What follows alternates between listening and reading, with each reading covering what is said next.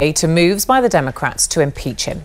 A whistleblower in the US intelligence service has accused Mr. Trump of putting pressure on the Ukrainian government during a phone call to investigate his Democratic rival Joe Biden, whose son was involved with a business there. Mr. Trump has accused the Democrats of fabricating a version of his conversation with the Ukrainian president. While in his latest tweet, the president said, if that perfect phone call with the president of Ukraine isn't considered appropriate, then no future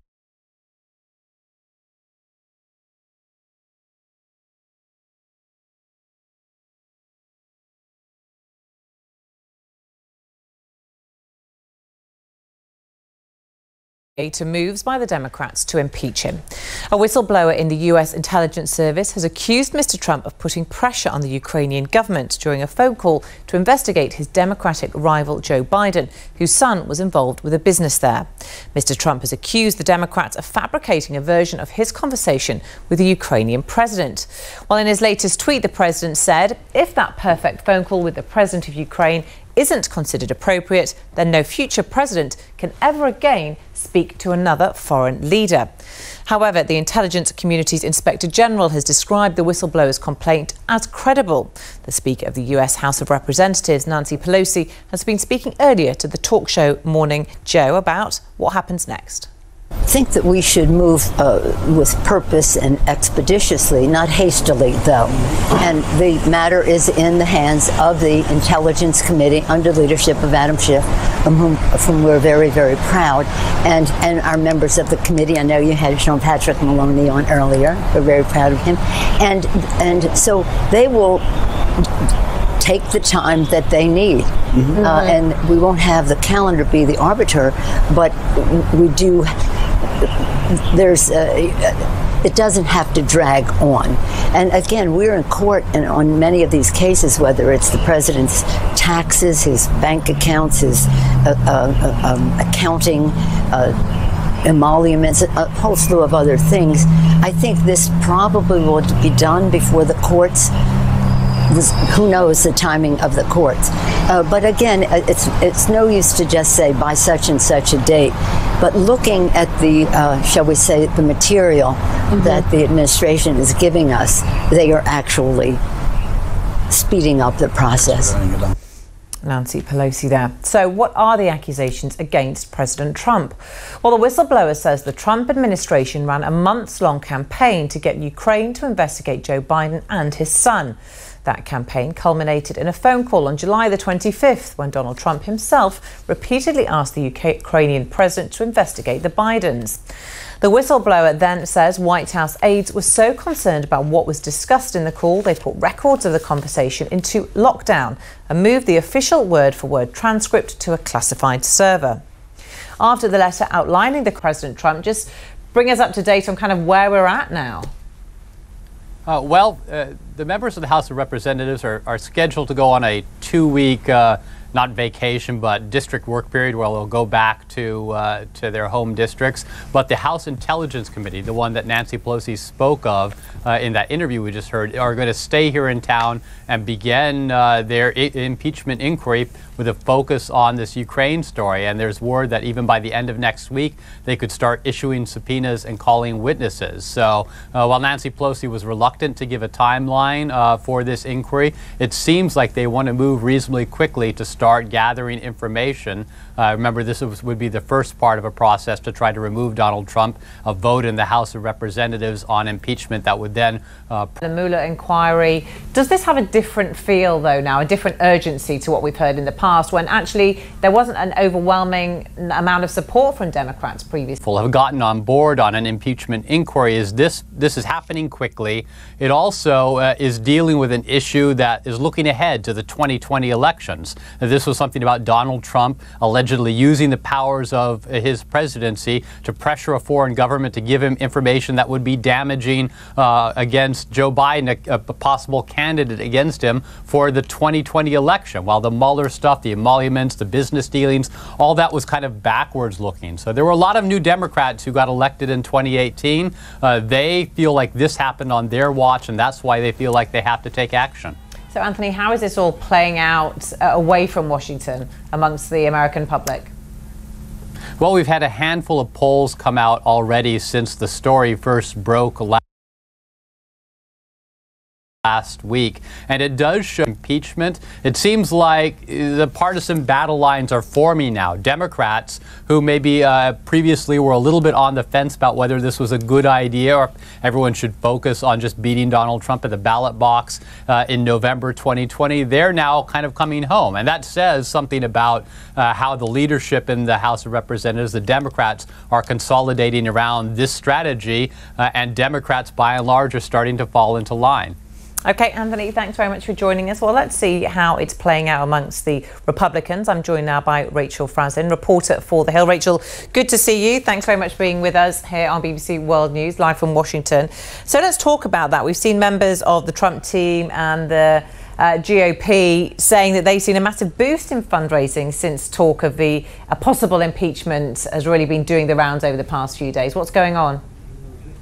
Uh, yes, the Trump campaign is saying that combined with the Republican National Committee, they have raised uh, $13 million since the inquiries. This is really quite a bonanza for them. They're really uh, rallying their supporters to give money to the campaign. So this is something that's really helping them with fundraising. I don't know if it'll help them politically, but at least on the fundraising side, this has really been a rallying cry for them, for their supporters. Yeah, let's have a look at a couple of tweets about this. And um, we've heard from Brad Parscale, Trump 2020 campaign manager, tweeted yesterday on Thursday. In the 24 hours since news of Nancy Pelosi's impeachment announcement, at Real Donald Trump's campaign and at GOP have blown out fundraising $5 million combined in 24 hours. Donors in all 50 states.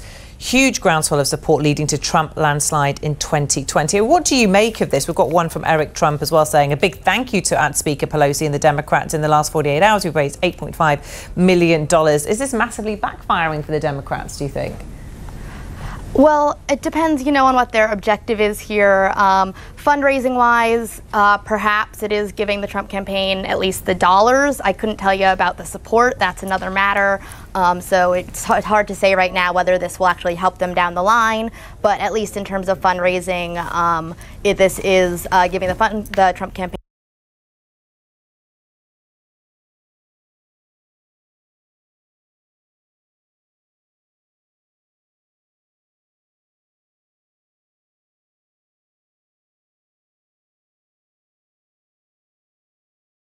And some fundraising. That being said, you are seeing on the Democratic side. Well, it's hard to quantify those numbers exactly because it's not as centralized. On the Republican side, you have um, almost all of the efforts focused on Trump, even though he does have a few challengers. But the RNC is really all in for Trump, it seems. Um, whereas on the Democratic side, since there are so many candidates, it's hard to say, um, you know, how much money they're raising. But they're at least pushing this, so I imagine there's some method to that. I mean, Donald Trump is extremely defiant, as you would expect, of course. What kind of messaging are the Trump campaign and GOP using around the notion and possibility of impeachment?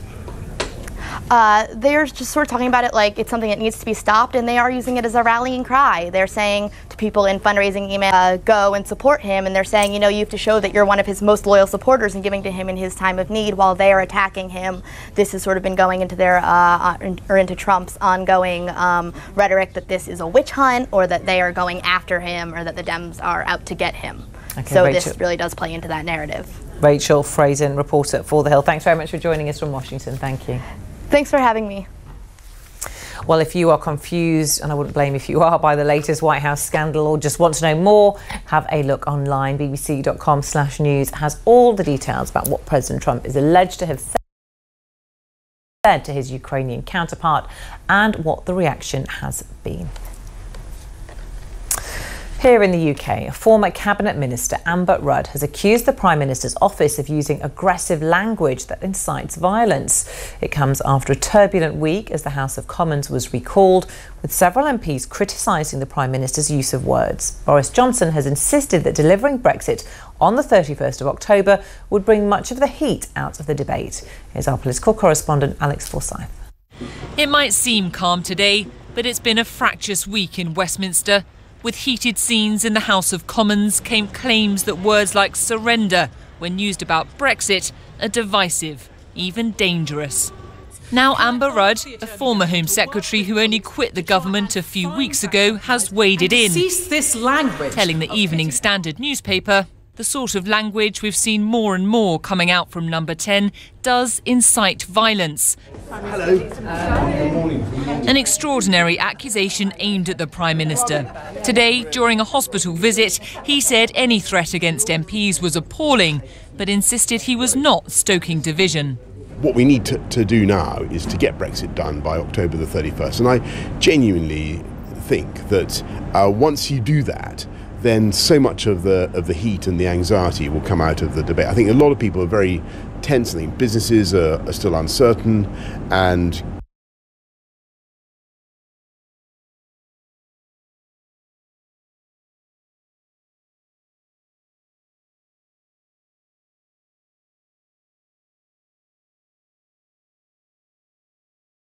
get it done, I think we'll all be able uh, to move on. Line of October the 31st, despite the fact Parliament's passed a law saying he'll have to delay if he doesn't get a Brexit deal. With such little trust here, opposition parties are talking tactics. The SNP leader today suggested ousting the Prime Minister and didn't rule out the Labour leader as a temporary replacement.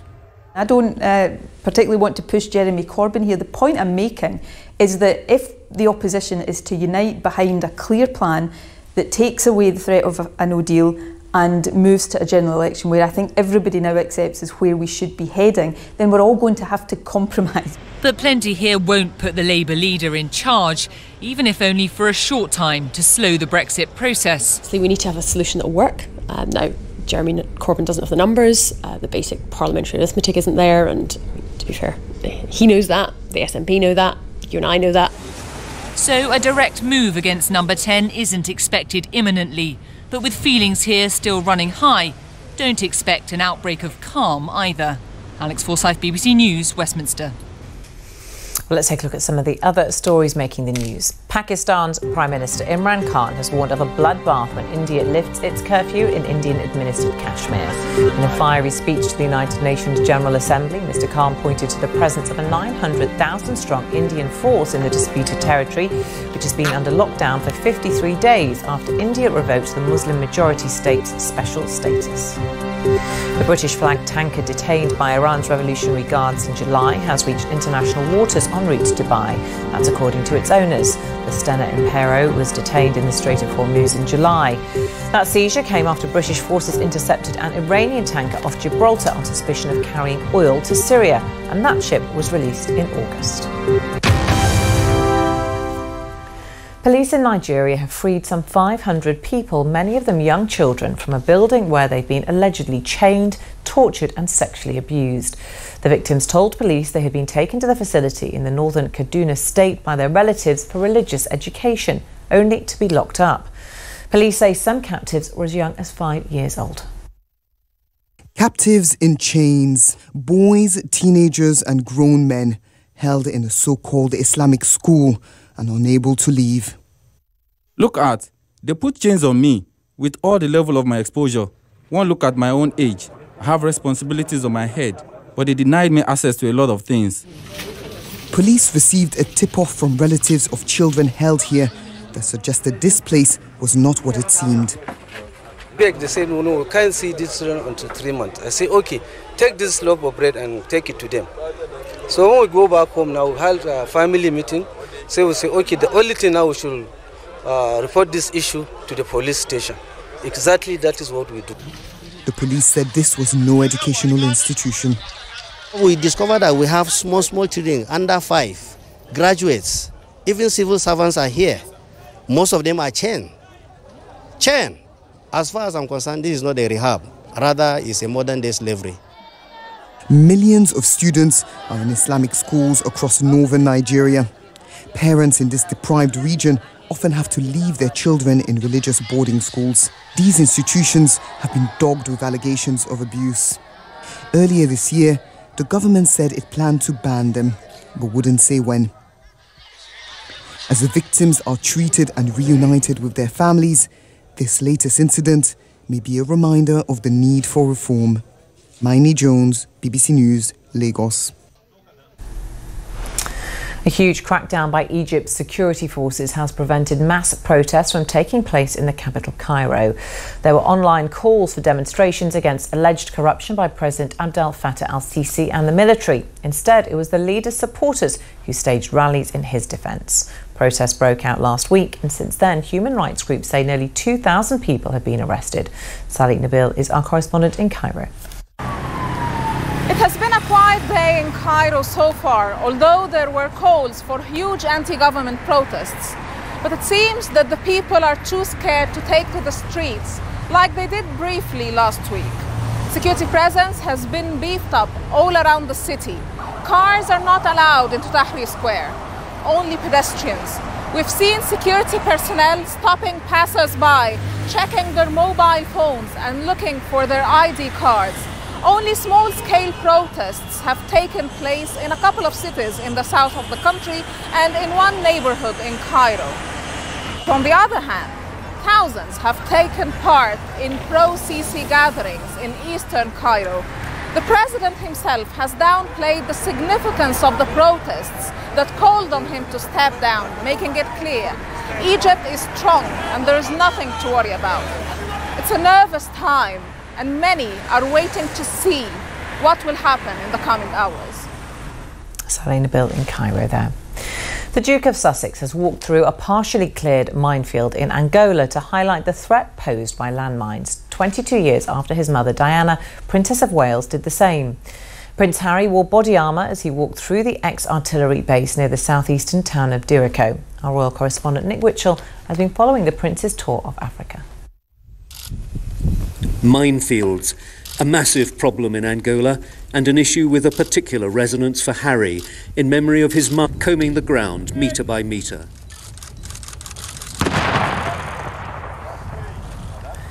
He detonated a mine which had been found a few days ago. And then on to Huambo, Angola's second city. It was here 22 years ago that Diana, Princess of Wales, was filmed walking along a safe corridor through a minefield. It brought the whole issue to the world's attention and led eventually to an international ban. Today, the spot, which had once been a minefield,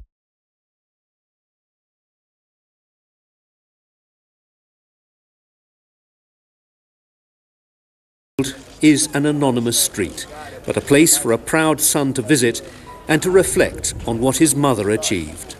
To walk in her footsteps is, is clearly quite emotional for me, um, but I think as much as she as much as she did then, there is still so much to do. But without question, if she hadn't have campaigned the way that she did 22 years ago, this would this could arguably still be a minefield. Um, so I'm, I'm incredibly proud of what she's what she's been able to do. Fully 17 years after the end of Angola's civil war, people are still suffering life-changing injuries. Harry visited and officially named the Princess Diana Orthopaedic Centre, where the victims of landmines are treated and fitted with prosthetic limbs. 22 years after Diana died, and there are still more than a thousand minefields here in Angola. Harry's message expressed today let's finish the job. Nicholas Witchell, BBC News, Huambo.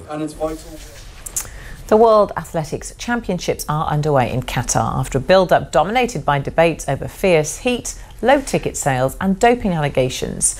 The host city, Doha, is using what's been described as jaw dropping air conditioning technology inside stadiums to reduce the 40 degree heat outside to safe levels. Ade Adedoyin is our reporter in Doha. It is very, very warm in here. That air conditioning system that you're talking about inside the stadium does really work. I've walked trackside and it, the temperature is about 22, 23 degrees, so it's good. Marathon, which is going to take place at midnight. They're staging it at midnight because of the extreme heat and because of the extreme conditions. And there have been a lot of concerns because if you remember back at the Gold Coast during the marathon, a few athletes struggled in the extreme weather, and there was talk that maybe the marathon would be moved to later on in the week when temperatures are expected to drop. But the IAAF, the sports governing body, put out a, a press release earlier on today to say that it will go ahead. They've taken advice from their medical team. There's going to be lots of water, lots of medics there, uh, and they hope everything will pass without incidents. But I spoke to uh, Edna Kiplaganian here, who trains in altitude. We'll be reporting on the marathon, of course, a little later here on BBC World News. Now, two British pensioners have been jailed for drug smuggling by a court in Portugal. Roger and Sue Clark were caught on board a cruise ship off Lisbon with nine kilos of cocaine sewn into the lining of four suitcases. Our Europe correspondent Damian Grammaticas reports from Lisbon. Lisbon, beautiful in the autumn sun. Last December, a different ship was here. The Marco Polo just arrived from the Caribbean. In cabin 469, Roger and Sue Clark, pensioners who took frequent costly cruises, living beyond their modest income. Police had noticed. Today, the couple, both 72 years old, were brought to court in handcuffs, sentenced to eight years each for drug smuggling. As the judge spoke, Sue dropped her head in tears, and Roger, also shaken, turned to her and said, I'll be nearly 80 when I get out. It's ridiculous. As he left the court,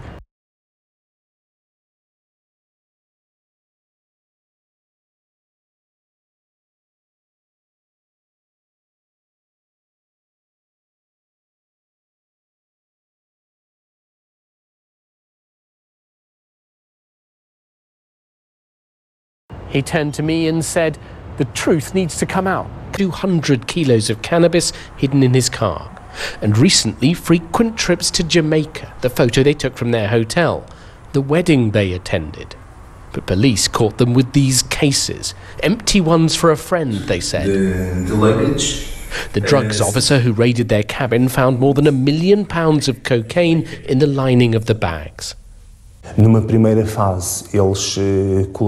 At first, they acted confident. They said you're not going to find anything. But afterwards, they admitted they'd known all along the cases had drugs. Now, instead of enjoying their sunset years, the couple may be spending the rest of them behind bars. Damian Grammaticas, BBC News, Lisbon. Now, for most of us, the mobile phone has become a lifeline that we're often hesitant to put down. But for all of the benefits technology has delivered, there's also a social cost when it comes to interactions with the world around us. Well, photographer Eric Pickersgill set out to show what we would look like with our phones removed.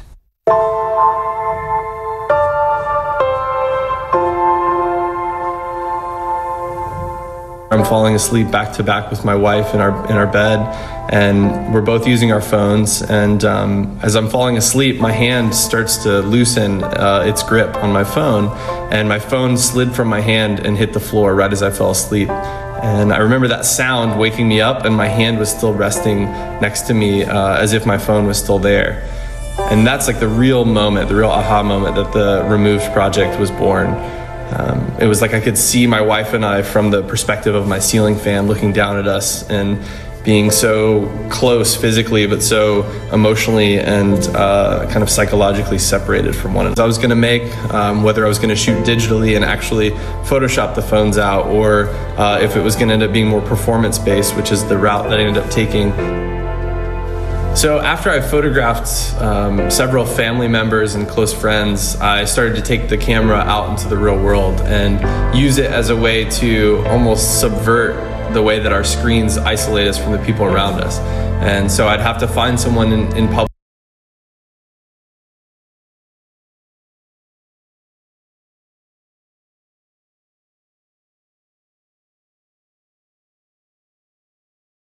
who seemed approachable and introduce myself in the project. We kind of start to stage this and I move around as a photographer and I recompose the situation uh, visually so that it works as a picture. Then I um, come up to them and I remove their phone and I slide it from their hand. And as they're sitting there, you start to see that uh, the world is happening around them, but they keep their stare and they're still doing their part to make the picture. But it seems like their their wheel is really turning within their brain about what the relationship is to their phone. It's one thing, it's one gesture all at the same time, all around the world. I'm certainly not trying to say get rid of your phones and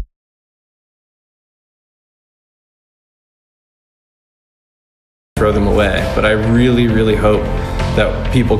It's true, isn't it? We all do it. I've got mine right here next to me in the studio. That's it from me for now. You can reach me on Twitter. I'm at Samantha TV News. Thanks very much for watching. Bye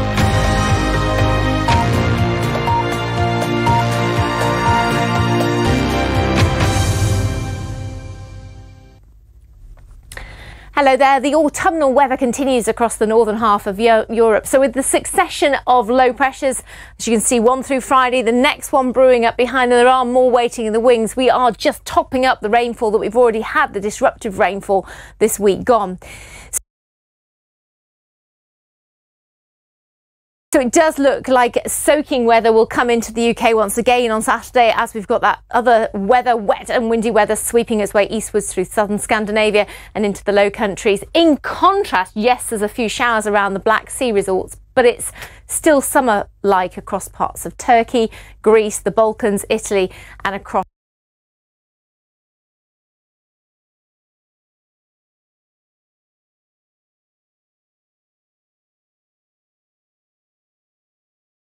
much of Iberia as well. Southern France again could see coastal flooding and as well as that some very strong winds, gales or severe gale force winds coinciding with those high tides because of the full moon. So yes, it looks like the UK, the low countries into Scandinavia set for some very wet and windy weather throughout the weekend. Some of the city forecasts, as you can see, reflect that weather for London, for Paris. It is dry though, as I mentioned, further south for Madrid and Rome, although the showers do arrive and the heat starts to build actually next week.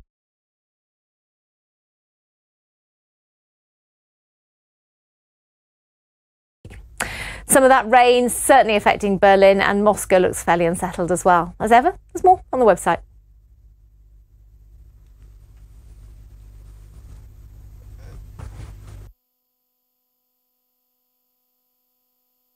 I'm embarking on an epic adventure. From spectacular natural landscapes to the busiest cities in the world. Discovering ancient artifacts to meeting the people who love them and protect them. To understand how thousands of years of culture and tradition continue to shape modern China. Join me Alastair Sooke for China's greatest treasures on BBC World News. Need your fix of the beautiful game? Then head to the BBC Sport website and app for live updates and social media from Premier League and Champions League games. With gossip, goal alerts, quizzes, score predictors, team selectors, and top punditry. Go online or download the app now. If you want to take a fresh look at 15th century Renaissance art in Italy, why not travel around in 15th century style? Fab, the Harlem Cowboy, I'm coming to town to check it all out. There were powerful patrons such as the Medicis and rock star artists such as Michelangelo.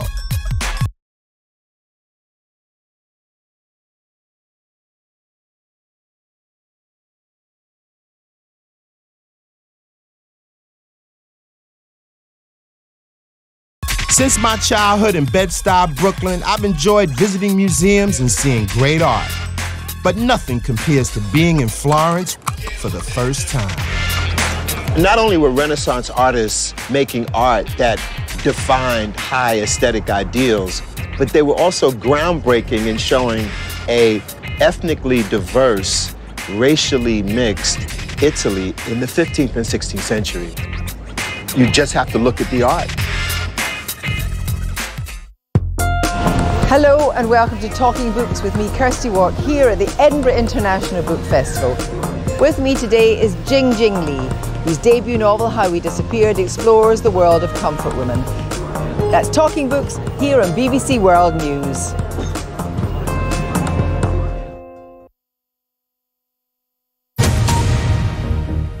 This is BBC World News, the headlines. US President Donald Trump has hit back against allegations of wrongdoing over his phone call with the Ukrainian president in a series of tweets accusing the Democrats of fabricating a version of the conversation. Nigerian police say they've rescued nearly 500 people from a building in the northern city of Kaduna where they were being detained. Those held were all men and boys and said they had been tortured and sexually abused. A former British cabinet minister has accused the Prime Minister's office of using language about Brexit that incited violence. Amber Rudd has criticised Mr Johnson for having what she called an immoral approach in his choice of language. And walking in his mother's footsteps, Britain's Prince Harry has visited a partially cleared minefield in Angola, 22 years after his mother Diana famously did the same. The Duke of Sussex described the visit as quite emotional. Those, uh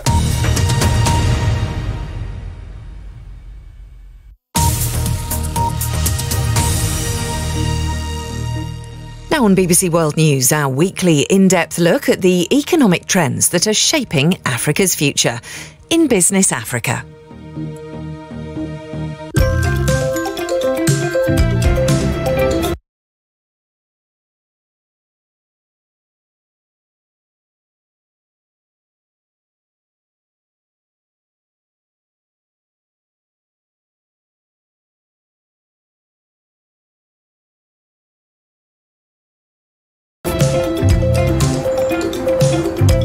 Hear about efforts to make Ethiopia Africa's leading manufacturing hub. Find out how a smart system is helping solve the problem of parking space in Addis Ababa. And we meet one of the key players in Ethiopia's now flourishing tourism sector. We want to see a lot of Africans visiting the rest of Africa. You really don't have to cross Atlantic or Pacific to go on vacation.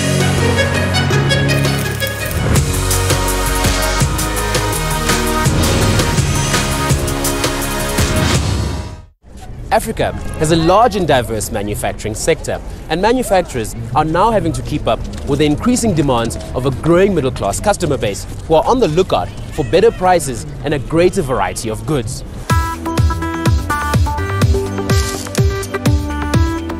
Ethiopia has achieved economic growth averaging 10.3% between 2006 and 2017.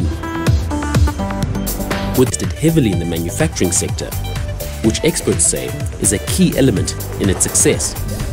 Ethiopia has set itself an ambitious plan called Vision 2025 to be the leading manufacturing hub in Africa.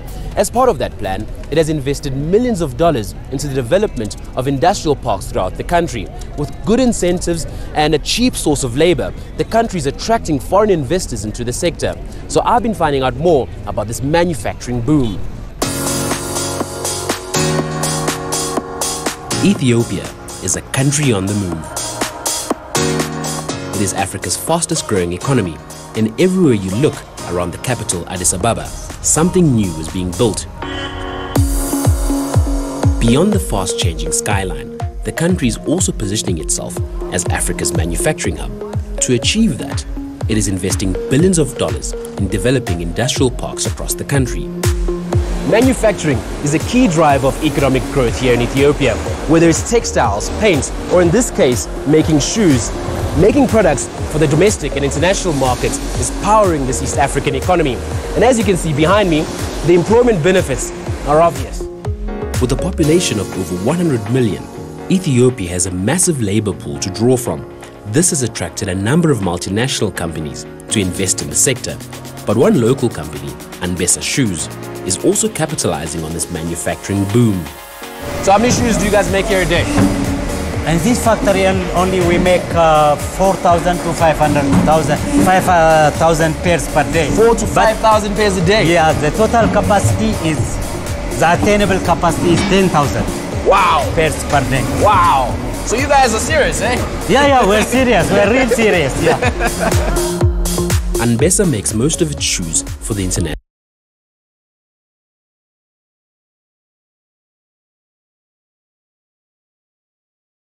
International market. But for the company to thrive, capturing the market share in Africa is a major priority. You know, we, our market is uh, USA, uh, France, Belgium, and some African countries as well. But the problem is, uh, is there is no, there is no uh, infrastructure between us, between the African countries. There is no trade relationship which is already established. So uh, it's a new beginning only. I'm sure after some times uh, African countries will trade with, within themselves.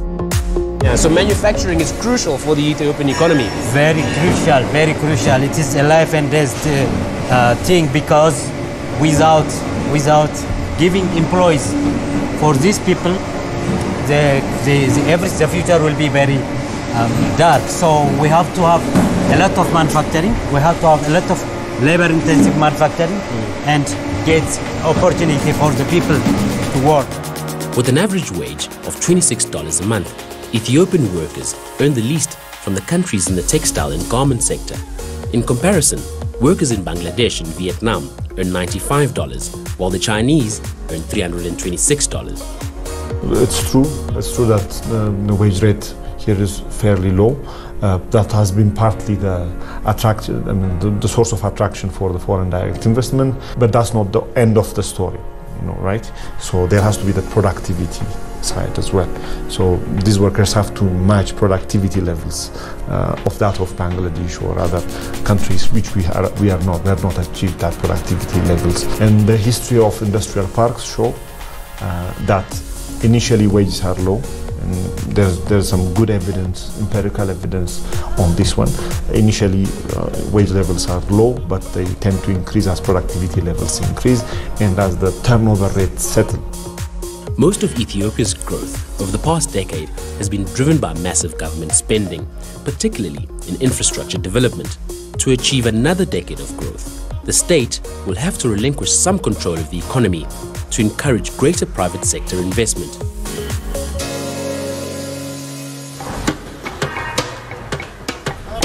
Lack of parking space is a big concern in most major cities, and here in Addis Ababa, they've experienced a massive influx of vehicles in recent years.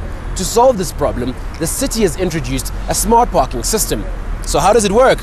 We've been finding out. My name is Samara Jalalu. I am the Deputy General Director of Addis Ababa City Transport uh, Traffic Management Agency. In Addis Ababa, we have a traffic congestion uh, and uh, this is due to not a proper way of uh, parking because a lot of uh, vehicles are parked at the roadside and this, this causes uh, traffic congestion. We are looking at Megenagna Smart Parking Project, which is uh, one of the three smart parking projects Addis Ababa has.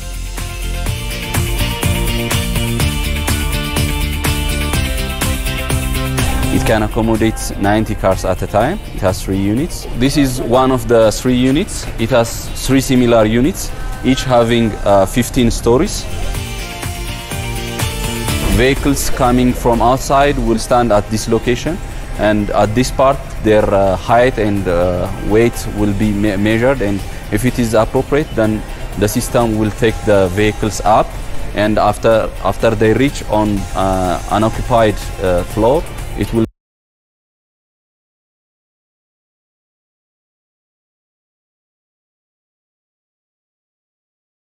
slide them to the side the side part which where they will be parked. It has a lot of benefits as i have mentioned. It can accommodate a lot of vehicles using a very constrained space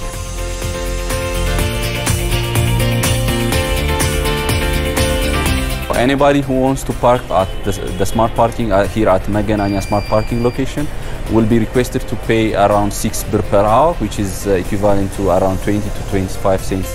It has been uh, two years since it started operation.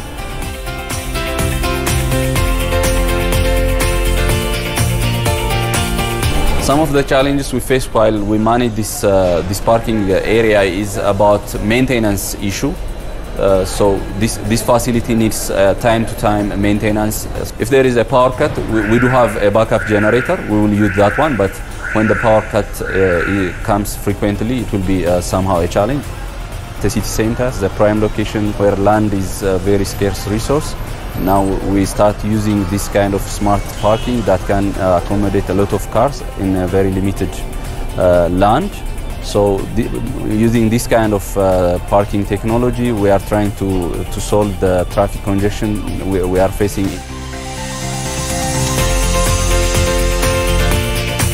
First time, people were afraid of this technology and they were not sure that they will find their car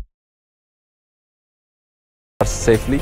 But now people get uh, accustomed to the system devoted to expand parking facilities. So in the new master plan, uh, around 60 locations are allocated for off-street parking uh, parking facilities. So we, uh, we expect a lot of this kind of uh, new projects will come to our city. As far as we know, this is the first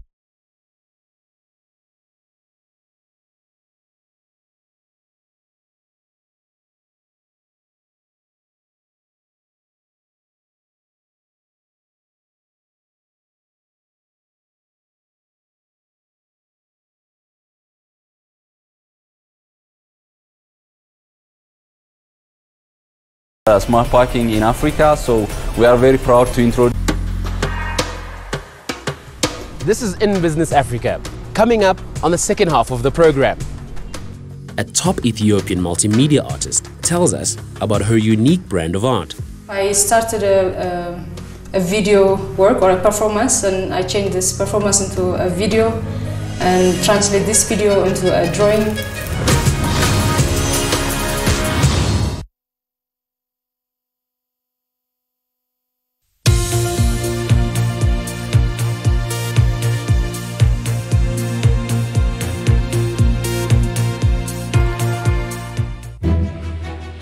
Across the globe, people have come to rely on an array of products, from bicycles to whiskey, spices to semiconductors. The phone has made my job very easy. This series looks at the people, systems, and networks that go into making and bringing them to market. We're spreading the knowledge and the technology across the globe. Made on Earth on BBC World News. This strange looking machine is designed to extract rocks from the seabed. But some experts warn this could prove incredibly damaging to marine life. So what is the future of deep sea mining? I'm David Shukman, and for BBC World News, I'll have a special report.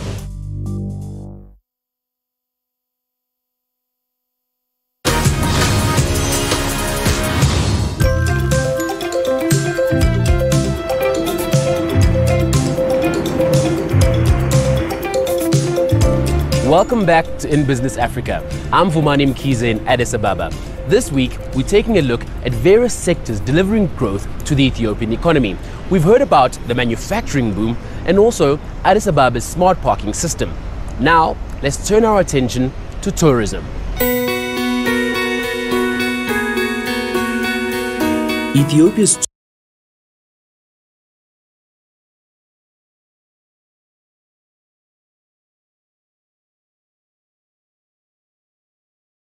tourism sector grew by 48.6%. This growth has been attributed to the country's improved connectivity as a regional transport hub, international visitor spending, and the recent visa relaxation policies. One of the key players in the tourism sector is Tadiwos Belete. His company owns one of the largest resort chains in Ethiopia and neighboring Djibouti, and he recently launched Ethiopia's first water park. So I met up with him to find out more about this burgeoning sector.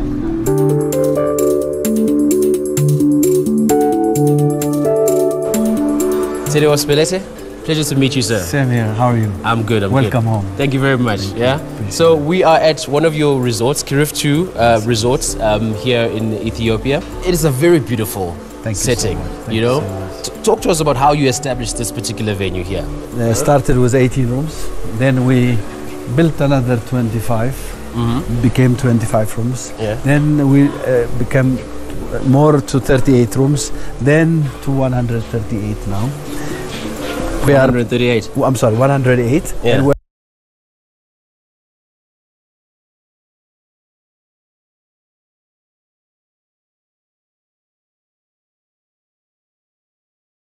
We are planning to build another 200 now. Wow. Design African uh, built and African operated properties. The reason why is if you know Africans don't have much stake on the continent. Yeah. Most of the properties are not owned by Africans. So this this this should be an example and Africa can showcase its own products. Uh, now we have 11 operational businesses. We employ over 3,000 employees currently. We, by the end of the year, we'll open another two properties and maybe we'll reach close to 3,500 employees. Let, us look at the tourism sector here in Ethiopia. I read an interesting statistic that um, Ethiopia is the country that has uh, seen the highest growth of tourism uh, last year, close to 50%. You must be pretty excited about that statistic. I'm very much happy, very, very much happy. You know, I work very hard. Even came to your country a few times, brought a lot of tour operators to visit Ethiopia Yes. to make sure that Ethiopia is seen in a different eye. Yeah. Because Ethiopia doesn't have uh, you know, nobody showed the real Ethiopia today. Everybody is talking about our famine uh, last last many years. It was uh, decades ago. 30, 40 years ago. Yeah. Are people still talking about still the famine? talking about that. You- When Yeah. you go to Europe to promote Ethiopia, Yeah. and they really don't believe. Do you really do? You, do you have a resort? of course, we have a resort. Yeah. So i- you you are changing the mindset of what Africa, what I- Ethiopia is I, I seen. want, I want to put Africa in a different map. The today Africa, the, the people.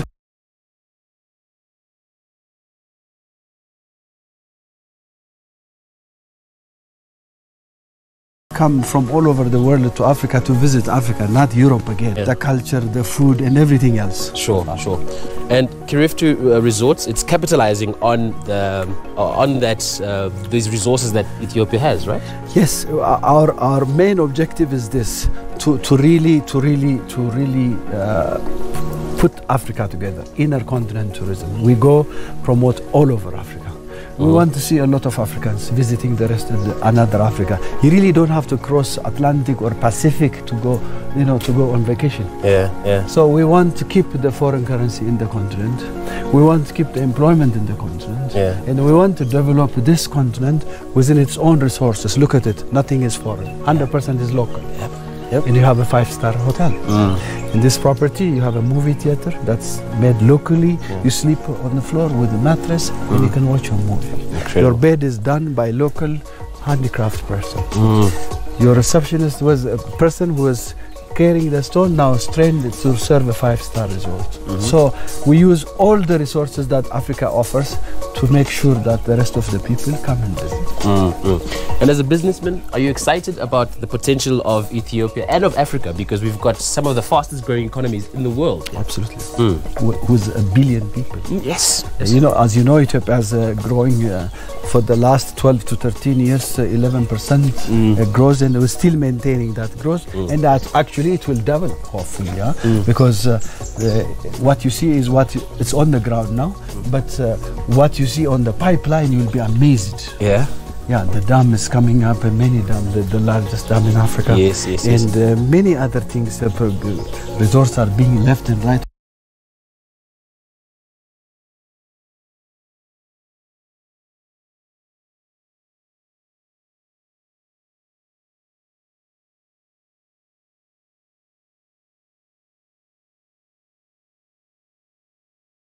All over the, continent, the, the Mm. country, Yeah. the road construction. The story. Another story. Yeah, yeah. Another story. Sure. Look at this property. The leather goods are the leather goods are developed and built here. The, the the beautiful dresses that they wear is done here. You know, Ethiopia has the the biggest leather. uh, Yeah, it has like the biggest leather industry in Africa, right? Look- look yeah, and it creates some outstanding garments. Look at it. Yeah. Look at how beautiful our jewelries look. How amazingly designed and built by, by you know, done by Ethiopians. Yeah. And look at look at the, the, the, the bags that we Bags. carry. Yeah. So tell us, who, who are your guests? Are, is it Ethiopians or are we seeing international My, visitors foc- as well? my focus is to bring inner continent tourism. I want you to come here. Mm-hmm. I want the, the rest of Africa to come here and be proud of our own products. The diaspora of Africa all over the world, that's what we are promoting. The Ethiopian diaspora, including which is included in the in, in African continent, and locals. That is the, the, what I want to promote. And are you They- marketing it to Absolutely. Africans? I, I travel all over Africa. I was in your country recently, asking tour uh, travel agents, tour operators to come and visit my country, and I host many tour operators from all over Africa, so they know that they have a good product that is sellable for their brothers and sisters. Sure, sure. So how do you go about tangibly promoting Ethiopia? What me and me, uh, me, I am Ethiopian Airlines and us are partners in, the, in this in this venture. Yeah. Ethiopian Airlines flies to all over Africa. Yeah. And we have offices all over Africa, and we package it. Ah. With the Ethiopian Embassy, Yeah. Ethiopian Airlines, all over Africa, we try to bring our African brothers and sisters to come and see this country. Yeah, and when they come and see it, this is what's going to be presented to them. This is what's going Look at that. Africa's East Africa's largest water park, you said. You know, uh, I, I am I'm, I'm seeing a lot of family traveling to Dubai, traveling to many other countries to look for a place there, they, were- where they will take their families. Yeah. And we really don't have a well-established uh, a water park or a theme park in Africa. Yeah. So now you decided to build it, absolutely, build it here in absolutely, Africa. Absolutely. Yeah. What would you like to see for Africa in the next 10, 20 years? I really want all Africans to really think they can do it on their own. You don't need a third party to do it for you. And you can't blame anyone anymore. So we do. Mm-hmm. That. Tedros, thank you very much for speaking to us. We appreciate it. Ethiopia has a vibrant art scene, and Helen Zeru is a multimedia artist whose work incorporates video, performance art, and drawing. Helen's work depicts the Addis Ababa experience from a deeply personal perspective. So we caught up with her to find out more about her unique brand of art.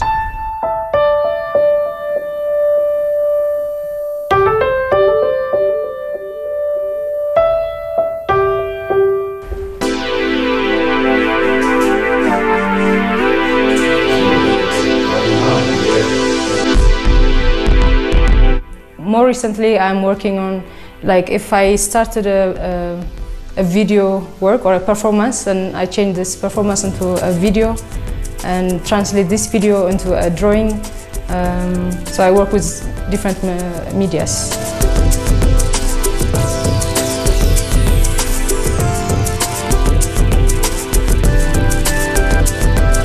My family received a, a letter that said that we have to remove uh, remainings or a grave of a family, uh, which is my mom. After 15 years of her passing, that uh, we had to dig out the remaining. So I start to document this uh, process. That's how this project started uh, or conceived.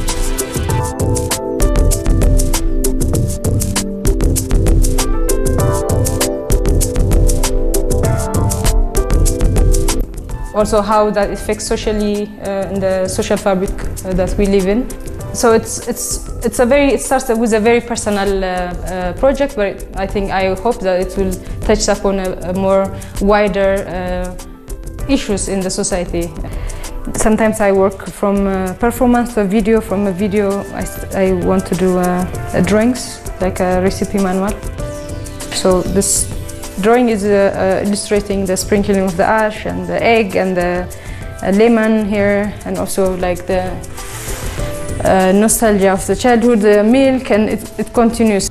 Like the art scene here is so much isolated from, let's, let alone like throughout the rest of Africa, the world, but also within East Africa it's quite isolated. Like I had the chance to visit the 32 degrees in Uganda and some spaces in Kenya. And I see that there's so much uh, fluid, that's fluid uh, movement that's going on. Like artists can move easily from Kampala to know, Tanzania, Nairobi, and Kigali. But I think my, the artists here are, uh, or we are, um, very much limited. Now I want to really want to start uh, another art space uh, together with a group of friends um, like create a, uh, like an alternative space where so many discussion can happen, uh, experiments and on works. So that's uh, my yeah. I want to do that. That's one thing that I really want to do. Well, that's all the time we've got for this week. From myself, Vumani Mkhize, and the team right here in Addis Ababa, Ethiopia. Thanks for watching, and goodbye.